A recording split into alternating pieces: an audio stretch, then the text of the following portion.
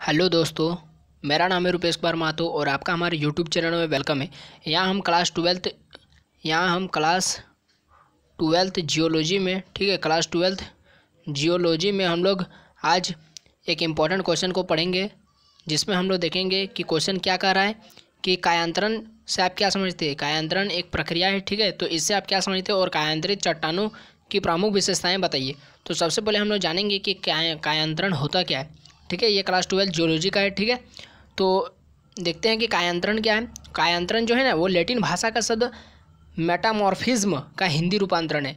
Metamorphism इसको अंग्रेज़ी में कहा जाता है और इसी का हिंदी में कहा जाता है कायांतरण, ठीक है। तो यह दो शब्दों से मिलकर बना है। यह जो मेटामॉर्फिज्म है ना, ये दो शब्दों से मिलकर बना है। पहला मेटा और दूसरा और दूसरा क्या है? मॉर्फ पहला मेटा और दूसरा मॉर्फ तो मेटा का अर्थ होता है परिवर्तन, रूपांतरण। और मॉर्फ का अर्थ होता है रूप, यानी रूप में परिवर्तन, या रूप का परिवर्तन। तो इस तरह से देख रहे हैं कि रूप का परिवर्तित होना इसका शाब्दिक अर्थ होता है, ठीक है? रूप का परिवर्तित होना है। तो आखिर इसमें रूप का किसका परिवर्तित होता है? किसका रूप का परिवर्तित होता है? तो हम लोग देखेंगे कि अन्य शब्दों में कि उच्च ताप और दाब के कारण उच्च ताप और उच्च दाब के कारण, आग्ने और अवसादी चट्टान, आग्ने चट्टान और अवसादी चट्टान, ठीक है?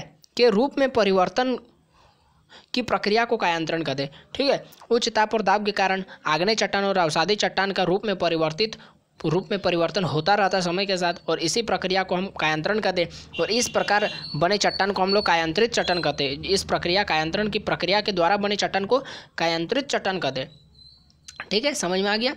उसके बाद हम लोग देखेंगे कि कायांतरित चट्टानों की विशेषताएँ बताइए तो इस क्वेश्चन में आपको तीन मार्क्स मिल सकता है, ठीक है? तो तीन मार्क्स के लिए आप इतना लिख दीजिए कि कायंत्री चट्टानों में आप कम से कम पाँच विशेषताएँ लिख दीजिए ठीक है? कायंत्री चट्टानों की विशेषताएँ।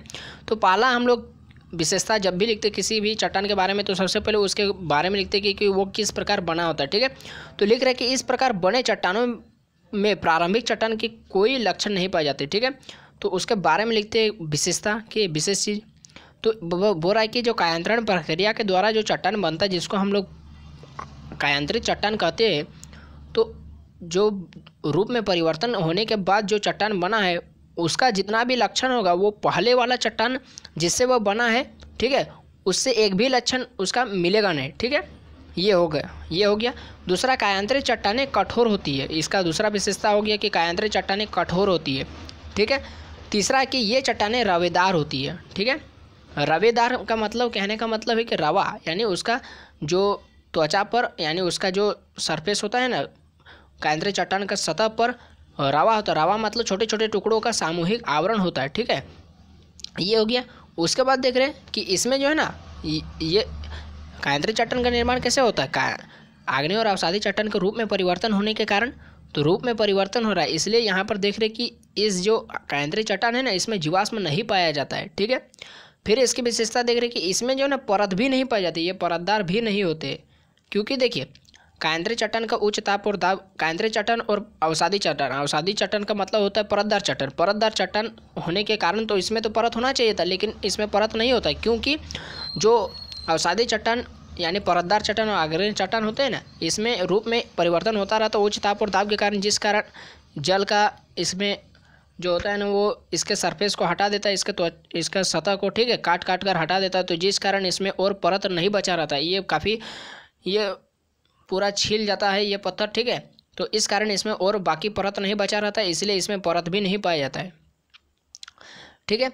जबकि ये बना रहता है परतदार पटान, चट्टान से भी, क्योंकि परतदार यानी अवसादी चट्टान और आग्नेय चट्टानों के रूप के परिवर्तन होने के कारण ही इसका निर्माण होता है, ठीक है? लेकिन फिर भी इसमें परत नहीं पाया जाता, ये इसका विशेषता हो गया। फिर देख रहे कि इसमें जल प्रवेश नहीं कर सकता है। यानी एक बार जो अवसादी चट्टान और आग्नेय चट्टान का रूप में परिवर्तन हो जाने के बाद जो अवसादी चट्टान मिल गया तो उन अवसादी चट्टान में फिर से हम लोग जल को पार नहीं करा सकते, यानी जल पार नहीं कर सकता है, ठीक है? उसके बाद देख रहे हैं कि इसका उदाहरण आप दे दीजिए। जैसे इसका अवसादी चट्टान का उदाहरण हो जाएगा सोना, हीरा, संगमरमर, चांदी, ठीक है? तो इस तरह हम लोग जानते हैं कि सोना होता है, चांदी होता है, लेकिन ये कभी नहीं जानते थे कि सोना, चांदी किस प्रकार के चट्टान से मिलकर बना है।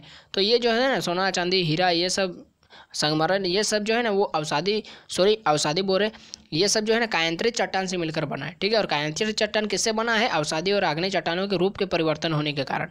तो इस तरह इस वीडियो में आपको मैंने सात विशेषता बताई और आपको इसका मैंने डिफिनेशन बताया कांत्री चटन का। तो यदि वीडियो आपको अच्छा लगा तो आप लाइक कर दीजिए, अपने दोस्तों में शेयर कीजिए और हमारे चैनल को सब्सक्राइब करना नहीं भूलिएगा। तो अभी के लिए इतना ही।